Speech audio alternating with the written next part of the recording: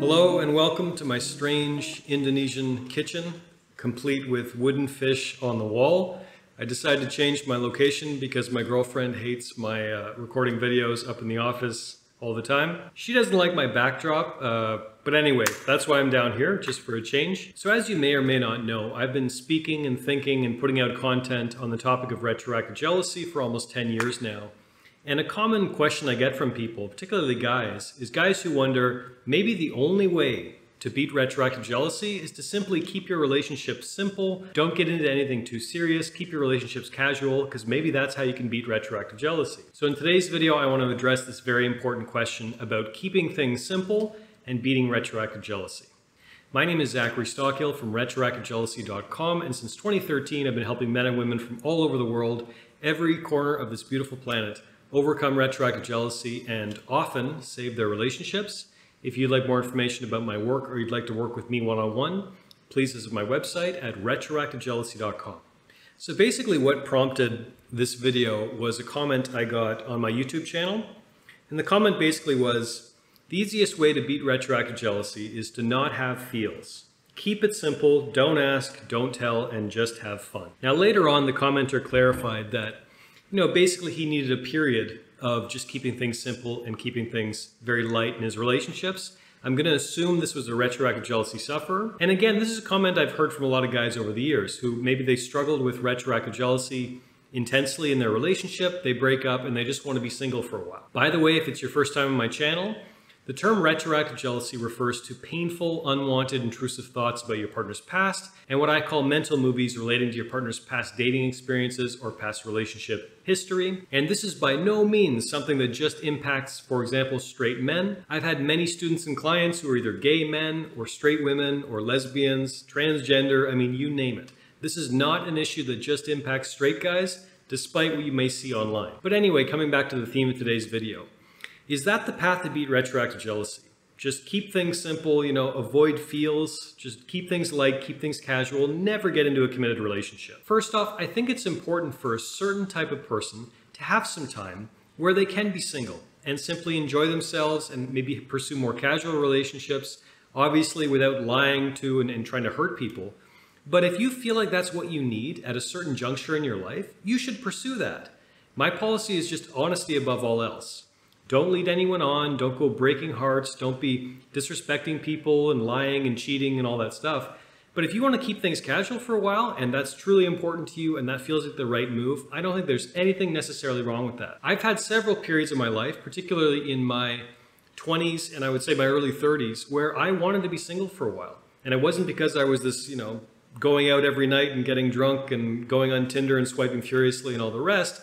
The point was, I wanted some time just to be single, to kind of keep my relationships relatively light, to figure myself out a little more. And for me, I feel like I needed that time in order to feel truly comfortable committing to someone long term. I needed to really kind of figure out my wants, my desires, and all the rest. But my motivation for doing this was not, oh, I want to avoid retroactive jealousy, so I'm just going to keep things casual for a while. And if that is your motivation for keeping things light or keeping things simple or not committing to anyone, Personally, I think that's kind of a lousy motivation because you're kind of selling yourself short. And I think you're telling yourself on some level, I am definitely guaranteed to struggle with retroactive jealousy in my next relationship. I'm scared to death of that. So I'm just going to keep things simple, keep things casual, but maybe it's not truly what you really want. You can't heal from the issue of retroactive jealousy by simply avoiding catching feelings for someone. You can't avoid struggling with retroactive jealousy by simply avoiding long-term relationships. And if you're flirting with that idea, if you're considering living the rest of your life, just being single and keeping things light and keeping things casual, just because you don't want to struggle with retroactive jealousy, to my mind, that's going to make for a pretty sad, pretty lonely, pretty depressing future. And believe it or not, I have heard from some people, again, mostly guys, who have written to me, basically saying that is or was their strategy. I'm just going to keep things light. I'm going to keep things casual. I'm never going to get involved with a, a woman seriously. I'm not never going to get involved with anyone seriously. I'm just going to, you know, be single and casual and non-exclusive, and that's how I'm going to live the rest of my life. Again, I want to make it clear that I am not judging anyone's choices. I believe people have the freedom to do whatever they want as long as they're not hurting other people and as long as they're not lying. And if you genuinely want to stay single uh, or a bachelor or whatever for the rest of your life because it's truly in line with your deepest core needs, then by all means have a great time and live true to that if that's what you want. But if you're resigning yourself to never experiencing the bliss and the comfort and the thrill and the security and the intimacy of a long term relationship, if you're avoiding all that just because you want to avoid retroactive jealousy, again, to my mind, that's a pretty depressing idea. That's a pretty long and lonely road that you're going to be walking. And as I say endlessly on this channel and in my books and in my online courses and all over the place, on podcasts, all over the place, overcoming retroactive jealousy is 1000% possible.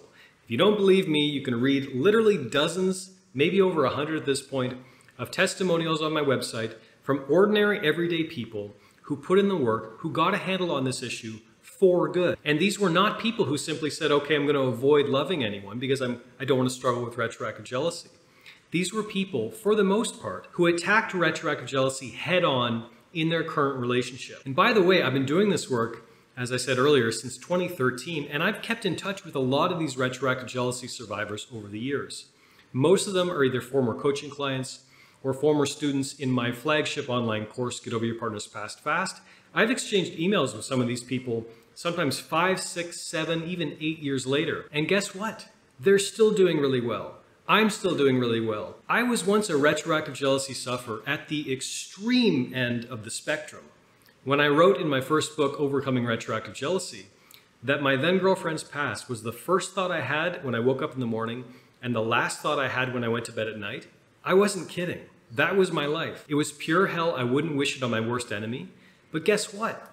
That's in my rearview mirror. That's a part of my history. And I am not the only one. Again, there are hundreds, if not thousands of us around the world who feel the same. So if you're feeling despair, if you're feeling hopeless, if you feel like just giving up on any thought of a future long-term relationship, there is hope.